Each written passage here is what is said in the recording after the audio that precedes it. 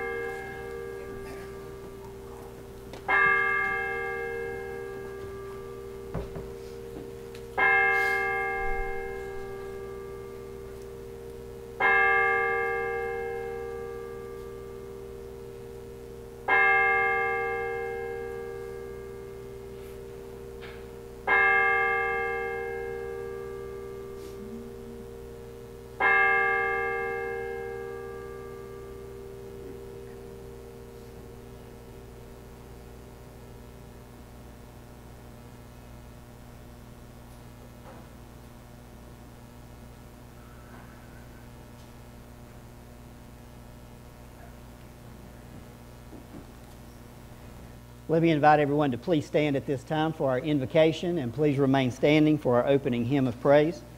Mr. Tim Grady, would you lead us as we pray, please?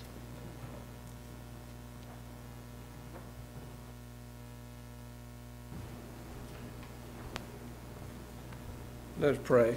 Father, we thank you for this day, for the privilege and the blessing of being in your house once again.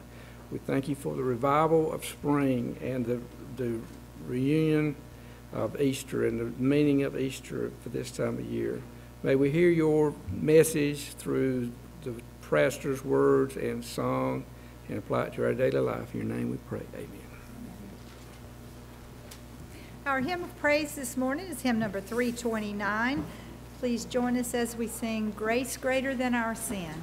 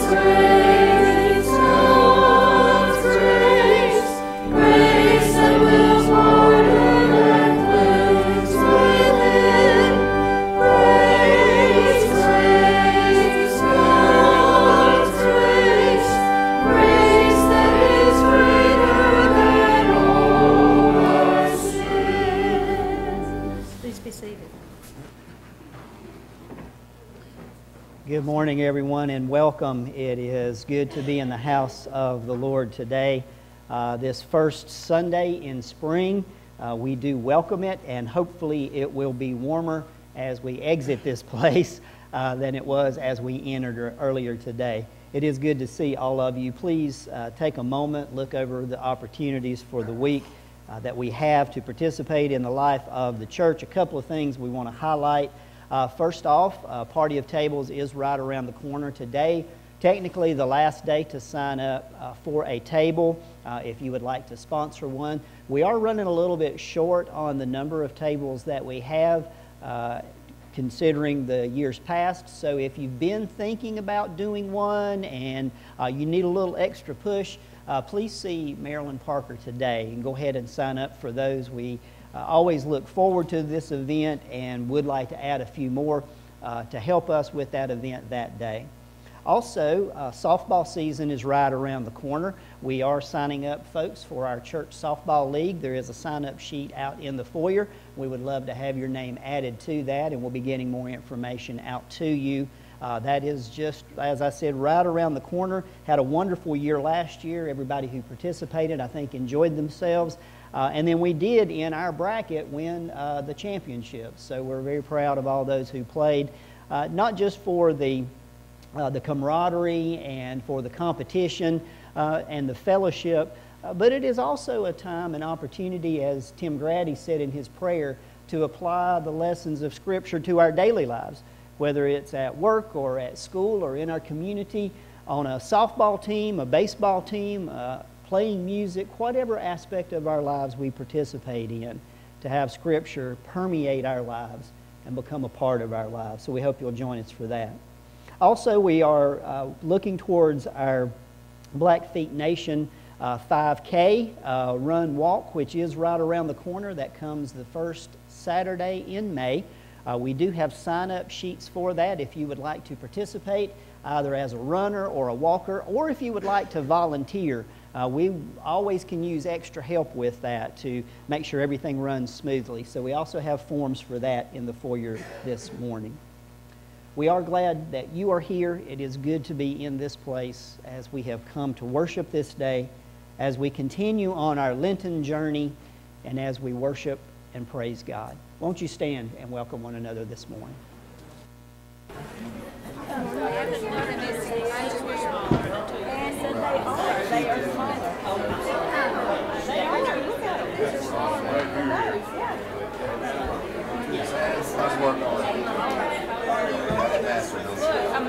I'm a Rodale today. Is it with you? Yes. Are you still at home? You're in the Raleigh forever? You're in Raleigh.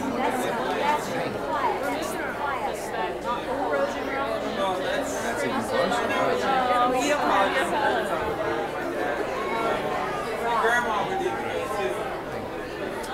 Good job. Yeah, it is.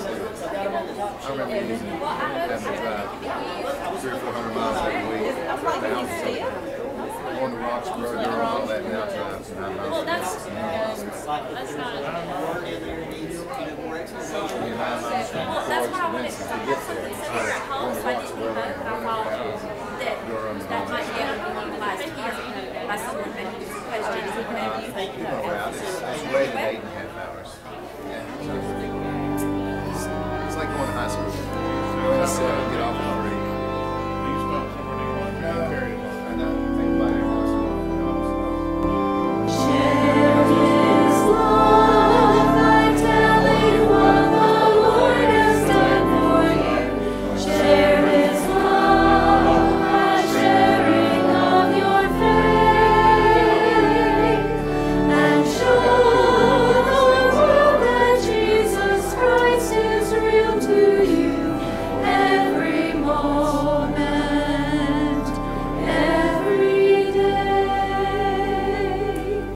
be seated.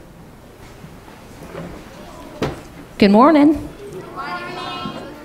Does anybody know what these are? Emojis. What are emojis for? Expressing feelings. Good. What, what, like, why specifically these? Like, you can use different faces for stuff, but what, what are special about emojis? well, you use them in like text messages and stuff like that. Um, so you guys are going to explain which um, emotions are each emoji. Can y'all hold up? Grab the first one. Grab the first one. No, the first front one. Yeah. What is that one? Angry. Okay. You can pass them down if you want. Love. What is sad. Happy. Scared. All right, I have a special one. This one I use a whole lot whenever I'm texting Mr. Josh. the eye roll. It's true, right? I say all the time. I'm like, mm. But, um, so how would you feel? We're not going to use this one. How would you feel? Which emotion would you use if somebody like gave you a piece of candy or something? Happy. Where's the happy one? You can hand two of them to him. Where's the happy face? There's the happy face. What if somebody gives you some money or does something else nice for you? How do you feel? Happy. Okay, so what if somebody is mean to you at school or your brother or sister your brother or sister is not very nice to you? You'll be mad. Where's the angry face? Show the angry face. And sad. Yeah, sometimes I choose the eye roll too. that's, my favorite. um, what if somebody stole something from you? Would that make you really happy? Make you angry? Somebody show the angry face. The angry face. Um, what other kind of things would maybe make you angry that somebody something could do to you? If they're annoying. So if somebody did something good to you, that doesn't make you really happy, right? Right? Um, so it's a, it's understandable to be angry when somebody does something bad to you, whether it's somebody being mean to you or says really mean things to you or about you. Um, but Jesus, what does He teach us how to how to handle people that maybe make us angry? Delilah, be nice back to them. Um, yeah, He teaches us to forgive and to love those people, anyways, right? Even though that they might deserve for us to be mean to them, right?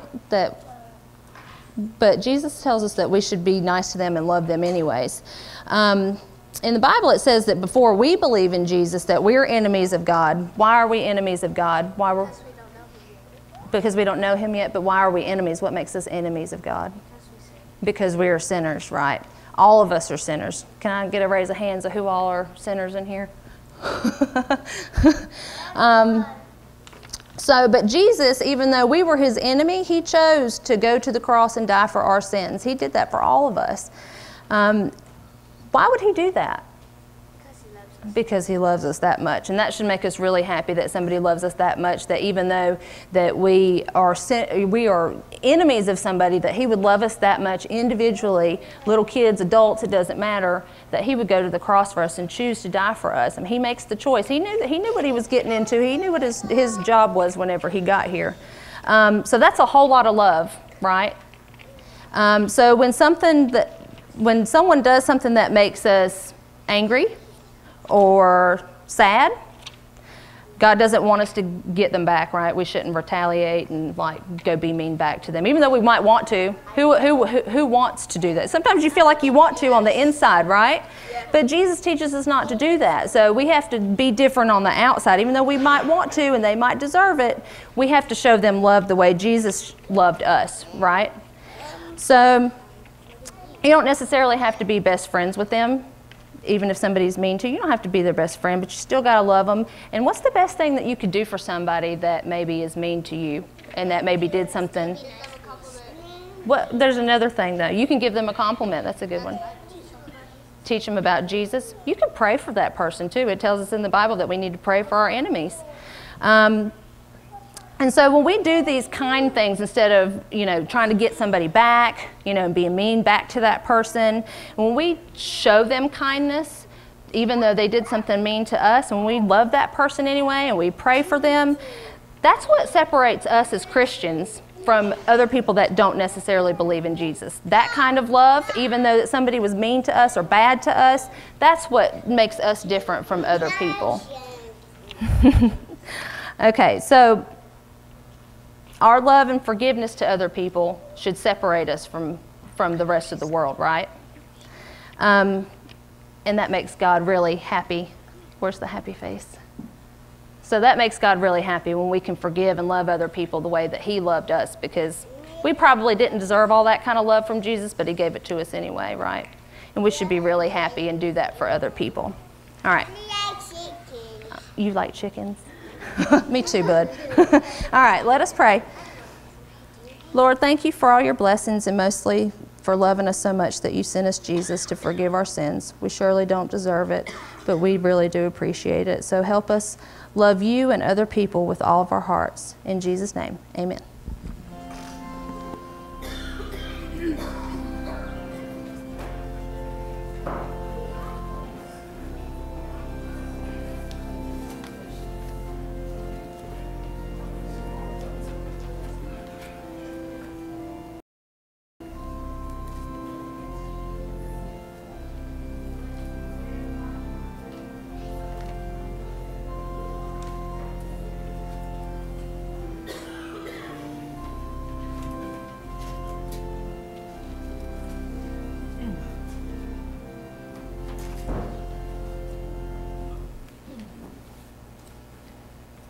As we pray today, we have uh, several families we especially ask that you remember in your prayers. Uh, we want to remember this morning the family of Thelma Johnson, uh, who passed away yesterday. Of course, Miss Thelma was Jeff Johnson's mom. Uh, that family has been touched by grief uh, twice now over the last three months. Uh, so please lift them up this morning. As we find out arrangements for Miss Thelma, uh, we'll pass those along to the congregation. Also, please remember the family of Mr. Stanton Massengill. Uh, Mr. Massengill passed away unexpectedly yesterday, and we lift up that family this morning. And then also the family of Mr. James Alexander III, uh, our neighbor across the way, uh, the family that's actually living in Julie's house, uh, old house right now. Uh, this was her dad, and so we lift up that family as well. Also, Roy Turner is going to be having a procedure on Thursday of this upcoming week. Uh, we lift up Roy in our prayers. Would you please bow with me as we pray this morning?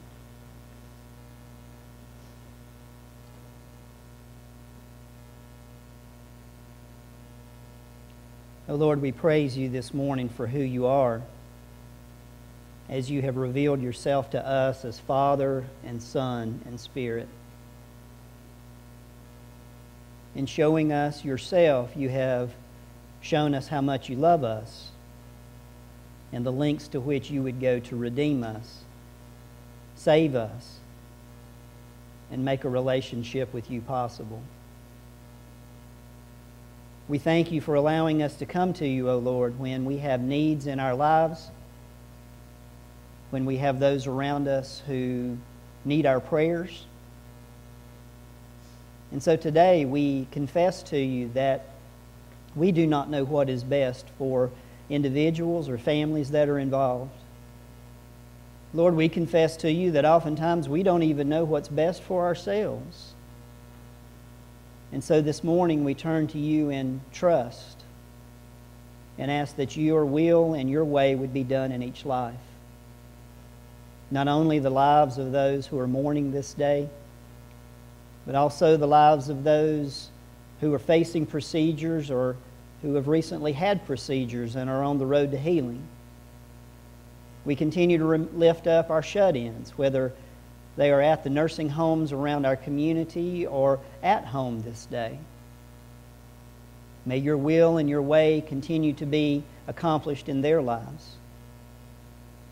We thank you, Lord, for loving us enough that you would send your Son into the world to save us. And as we focus on his sacrifice through this Lenten season, may we realize that in his calling to follow him, that indeed you've asked all of us to make sacrifices ourselves. To turn loose of the old people that we were and to take on the new spirit of Jesus Christ. To turn loose of the old way of thinking which guided us for many years and to take upon ourselves the mind of Jesus Christ. to let loose of the feelings that seem to guide us every day and oftentimes enslave us. And help us to feel as Jesus Christ. Lord, we thank you for the new life. We thank you for the spirit of restoration and renovation. We thank you that you've come into the world and allowing us to improve our souls. So now, O oh Lord, as we remember and recite together the prayer that Jesus taught us, may we remember it's not just words that we say.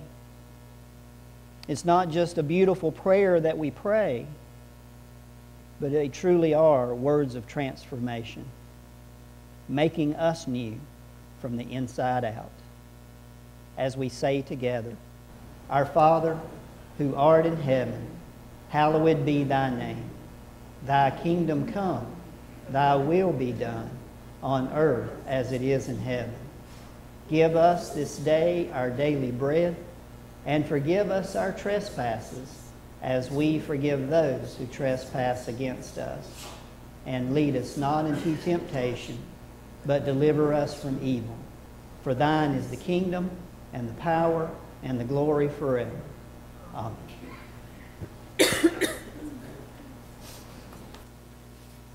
The offertory hymn this morning is hymn number 208. Please stand as we sing.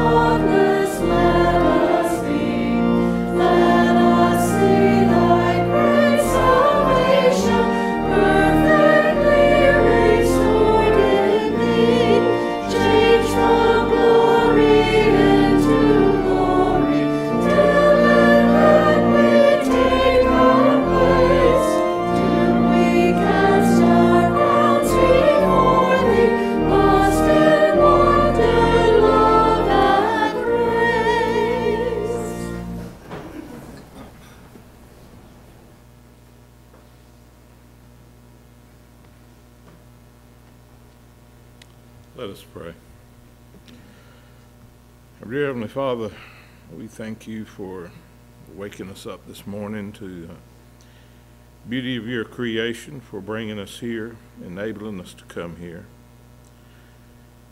We thank you, Lord, for all that you give to us that enables us to give back. Bless these gifts and the givers. In Jesus' name we pray, amen.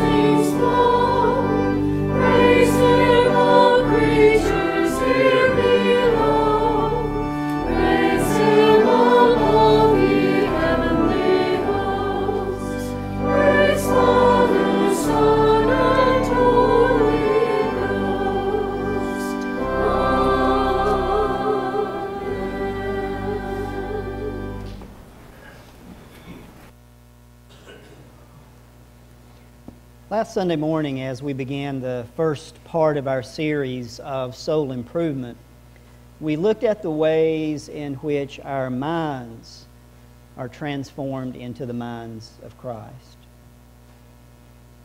Part of that, Dallas Willard, the author of the book we'll be referring to over the next few weeks, says this is accomplished is by taking Scripture into ourselves, not just reading it, not just thinking about it or studying it, but actually allowing the words of Scripture to permeate our very selves, our very being, our very souls. Part of that, Willard says, is accomplished by memorization, by memorizing large chunks of Scripture that we recall to memory. They come to our minds, literally as we face decisions we make each day and as we face how we walk in this world. That's not only accomplished, Willard says, by individually spending time with Scripture, committing it to memory, but also corporately, as a congregation, taking up the Word of God and reading it as a group, as a body of believers, and allowing those words to sink into ourselves. So this morning, for our scripture reading, we're going to do this a little different than we normally do.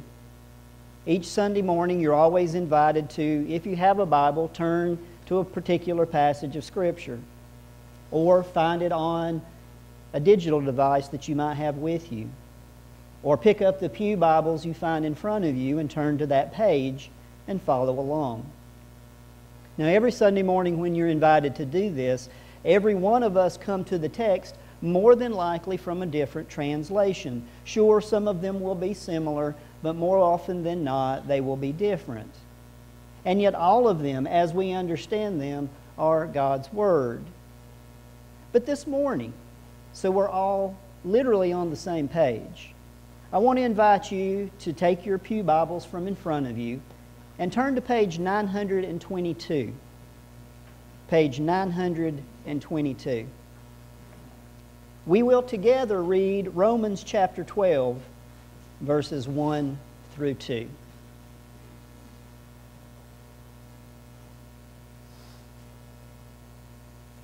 Again, Romans chapter 12, verses 1 through 2, found in your Pew Bible, page 922.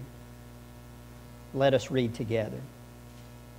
I appeal to you, therefore, brothers and sisters, by the mercies of God, to present your bodies as a living sacrifice, holy and acceptable to God, which is your spiritual worship. Do not be conformed to this world, but be transformed by the renewing of your minds so that you may discern what is the will of God, what is good and acceptable and perfect. May God add the richest of blessings to the reading of the Word this day.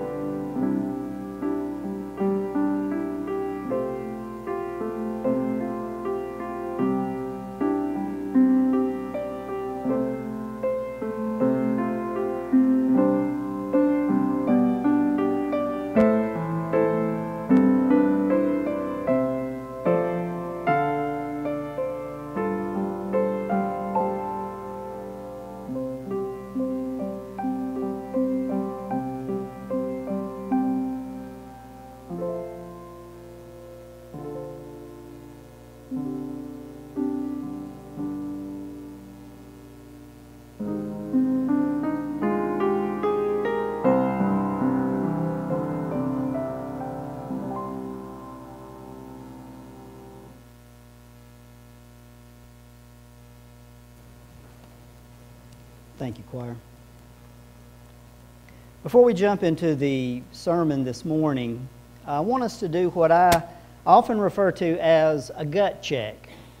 So, what I want you to do is I want you to turn to your neighbor for just a few moments, and I want you to ask your neighbor this question and have a moment to talk about it, each of you taking a turn. Ask them this question How are you feeling? Okay? On the count of three. One, two, three, go.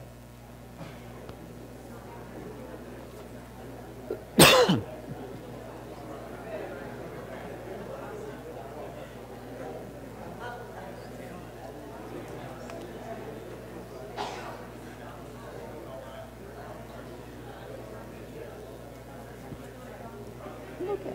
Doing, doing all right. Doing all right. Okay.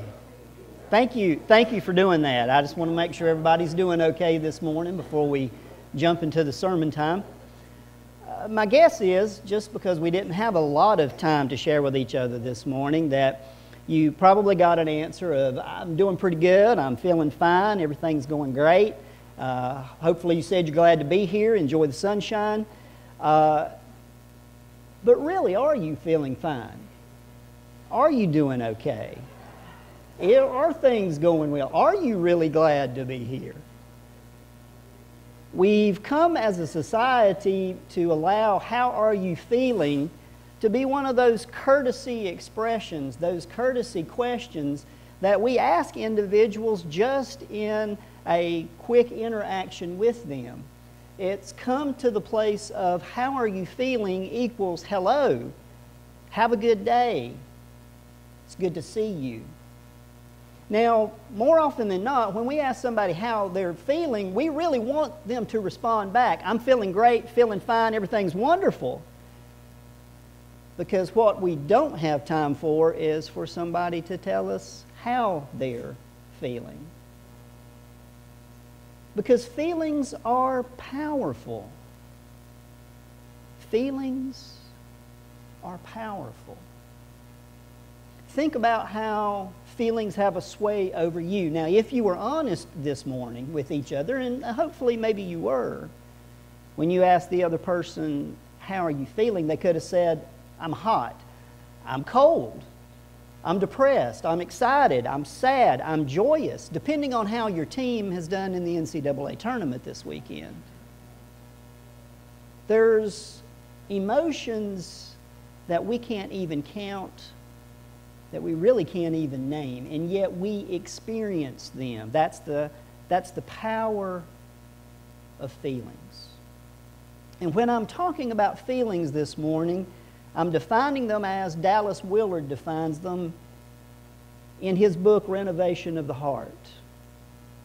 Willard says that, that feelings, kind of as an all encompassing category, are made up of emotions sensations, hungry, or when you touch a person and you feel them, emotions and sensations, and what he refers to as desires. That really we can't define feelings completely. We really do not have an explanation of them, and yet when we feel something, we know it. We know when we're angry. We know when we're sad. We know when we're happy. We know when we're hungry or when we've overeaten and we're full. We know when we're hot or when we're cold. We know when we're depressed. We know all of these things because feelings have such a power over us. Feelings are important to us as human beings. And interestingly enough, feelings are important to our souls. Now, I've always heard in the classes I've taken and in the courses I've participated that really feelings are neither good nor bad. They just are. And that is actually true. Oftentimes we have no control over the feelings that we have, or Rather, let me say, sometimes we have no control how, over how feelings hit us. As you've already heard this morning in the children's sermon, the thing that differentiates Christians from non Christians, from believers from non believers, from followers of Jesus Christ specifically to non followers of Jesus Christ, is that when these feelings, these emotions, sensations, desires wash over us, we, in response to them, do have control. That's why in Willard's book, he talks a little bit about thinking and feeling being part of our mind, which makes up one of the elements, one of the facets of our soul. Because mind and feelings go intimately together. We not only feel feelings deep down within us, we feel them with our mind and we respond to them with our mind. That's why feelings are so very, very important. So, this morning, in the passage of Scripture we've read again today, talking about us living under the mercy of God, presenting our bodies, and we'll have time to talk about body in a few weeks as an expression of our soul. Present our bodies as living sacrifices, having our minds transformed, our thinking and our feeling. Feelings are tremendously powerful over us. We realize the influence they have in our lives. How many of you, when somebody says something the wrong way to you or upsets you, anger washes over you like a wave? You really do not know where it has come from, but suddenly it is like something that has overwhelmed you, that has taken you over.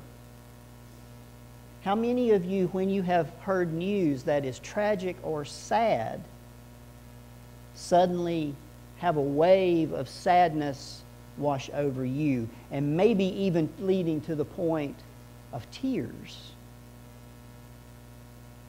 You see, we not only respond with our minds to the feelings that we have, we respond with our bodies as well. Just think about Jesus Christ as the gospel writer Luke records for us, Jesus in the Garden of Gethsemane. His prayer to the Father that God's will would be done, not his will, but God's will would be done. As he's praying that prayer, the anxiety that washes over him, perhaps the fear that washes over him, the determination of the prayer that washes over him, leads to him perspiring drops of blood. Feelings are very powerful. Feelings, as you know, can lead us making wrong decisions. Feelings, as you know, can lead us down wrong paths. Feelings, as you know, can lead us to dead ends.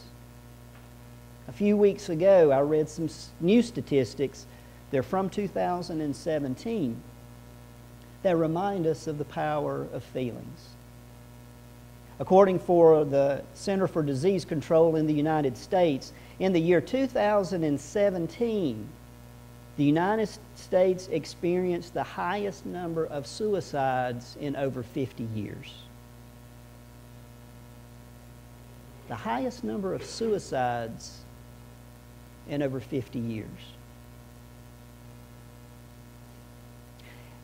And in that same statistic, they said the second leading cause of death for Americans under the age of 35.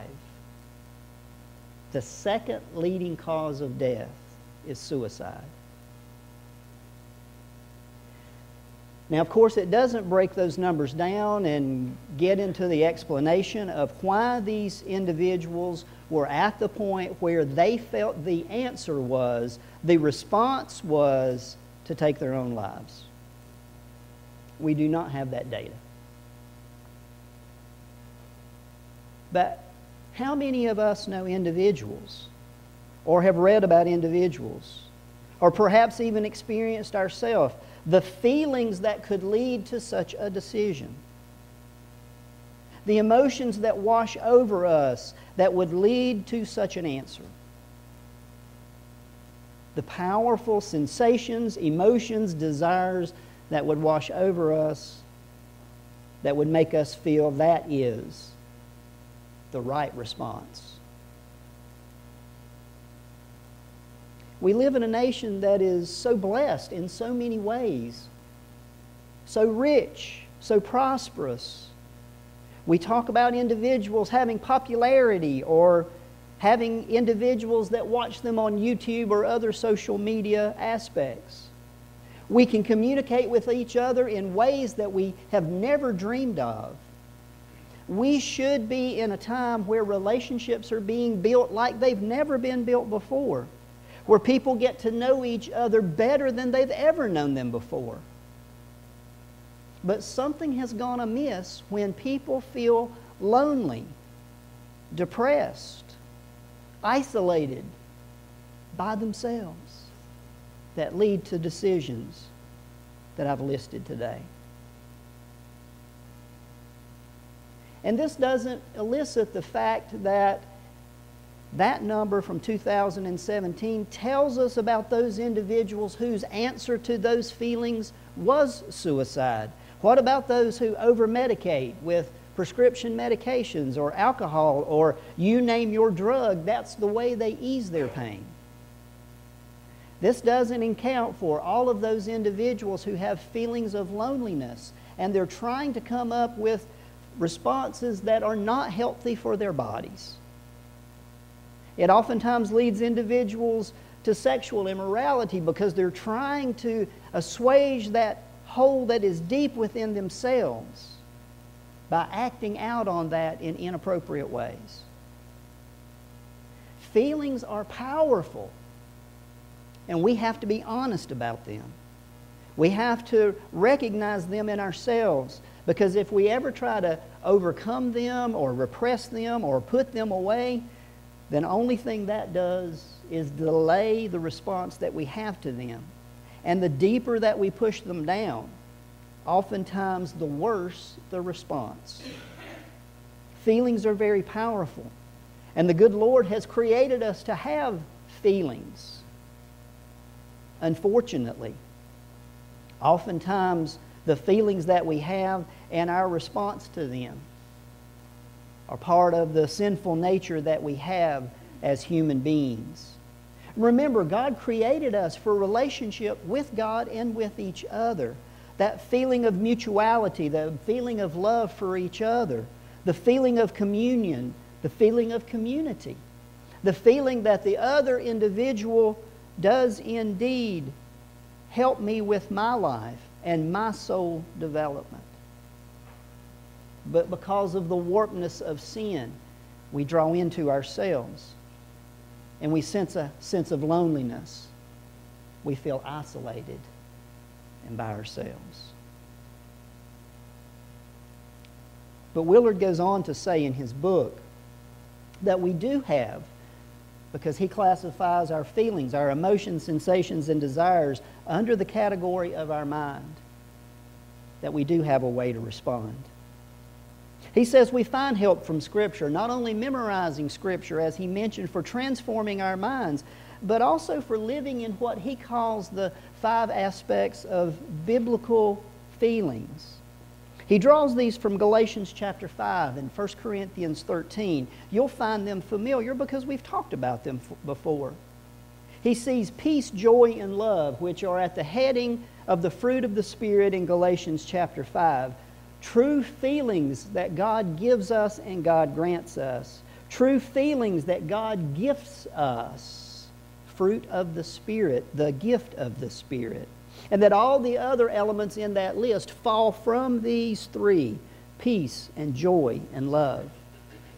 He also finds in 1 Corinthians 13 that love chapter where we talk about love, oftentimes referring to it as an emotional connection between two individuals. That love that we talk about there is also a part of that.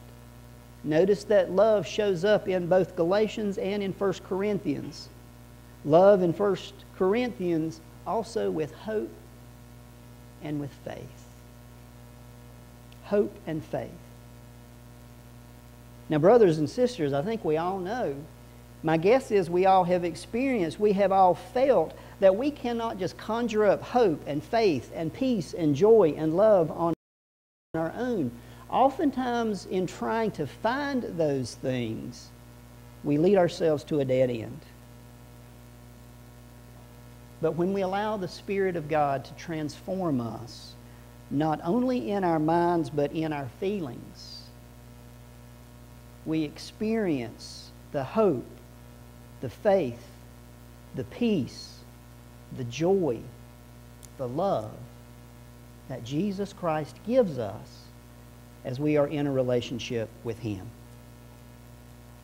There's a beautiful story from Luke chapter 10 that I wanted to recount for you just a minute this morning. It's the story that we often refer to as the Good Samaritan. Probably a better name for the story and more biblically accurate would be the Good Neighbor, because that's exactly what Jesus is talking about there. Jesus has been teaching on or talking about being a good neighbor. Love God with all your heart, mind, and soul, and love your neighbor as yourself. When he is asked this question, who is my neighbor? And so Jesus begins telling a story about a man who is on the road. And as he's traveling, he falls to thieves who steal from him, and they beat him, and they leave him for dead. And as he is lying there, a priest walks along. And it says that the priest sees him and goes to the opposite side of the road to pass by another man walks along the road, a Levite this time. He also sees the man. He crosses to the other side of the road and passes him by. But then here's what Luke tells us, recording Jesus' words to the crowd. But a Samaritan, while traveling, came near him, the man who had been beaten, wounded, and left for dead. And when he saw him, he was moved with compassion. He was moved with compassion. He went to him, bandaged his wounds, put oil and wine on them, and he took care of him.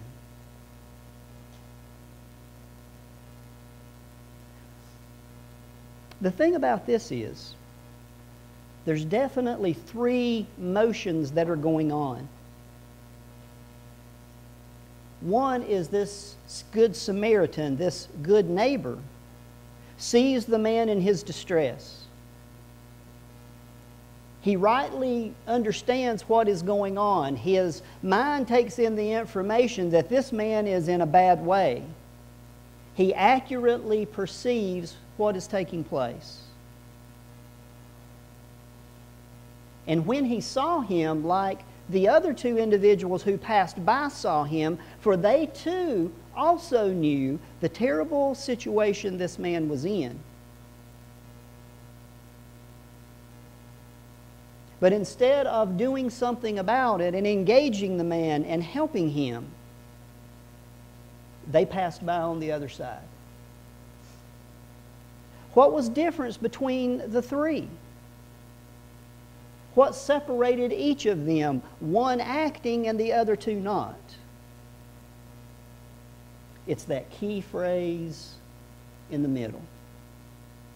When the Samaritan saw the man, he was moved, he felt compassion.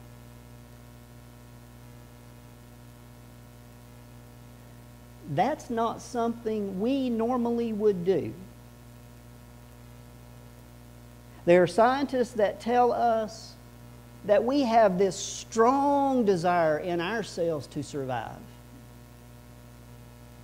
And in order to be able to put ourselves in a position where we would help someone, put ourselves out for someone, assist someone else, there is something unnatural, supernatural, that has to transform us from the inside out and move us, compel us, help us to feel compassion.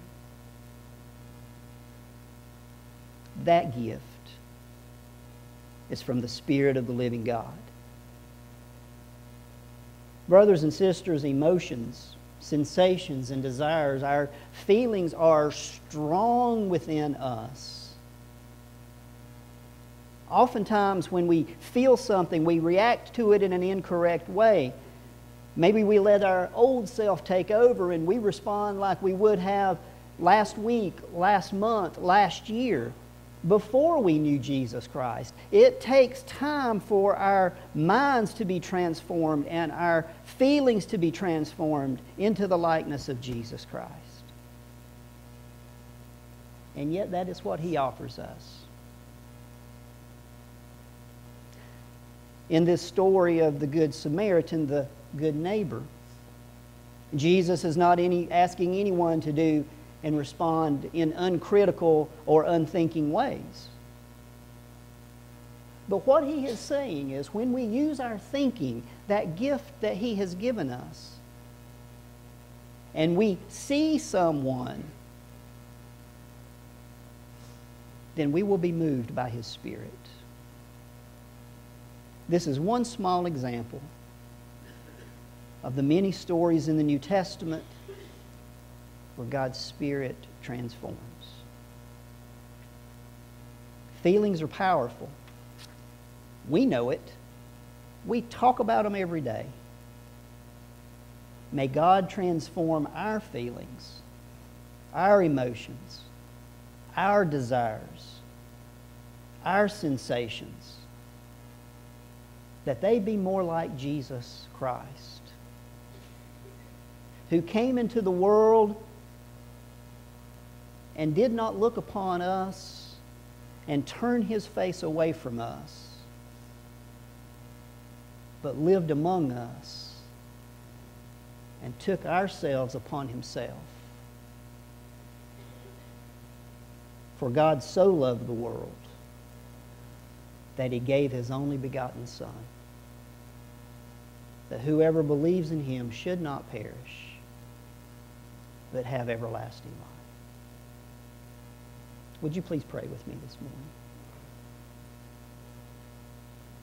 Most gracious God, we thank you for calling us to improve our souls by allowing your Holy Spirit to transform us from the inside out.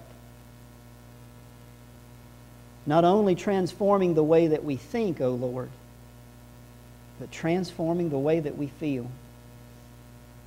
Of looking at your world as seeing it as you see, so that we might act the way you would have us to act. Lord, may we have compassion for the world, not just because of the hurts and the ills and the suffering and the pain, but may we have compassion on the world that needs to know the true answer to its ills. May there never be a soul who approaches death who has never heard of the good news of Jesus Christ. And may we find ourselves in making that wish, that prayer possible. In your Son's name we pray. Amen. This morning, we're all invited to the, allow Jesus Christ to transform us more and more into his likeness through our thinking, and especially today through our feelings. This transformation and this transition and this renovation is never an easy thing. The Lord Jesus Christ Himself likened it uh, to us laying down ourselves and taking up our cross and following Him. But it is worthwhile because it not only promises us eternal and everlasting life, dwelling with God the Father in heaven, but it also promises to give us abundant life here and now. As we stand and as we sing, we'll be singing hymn number 600. We're all invited to respond.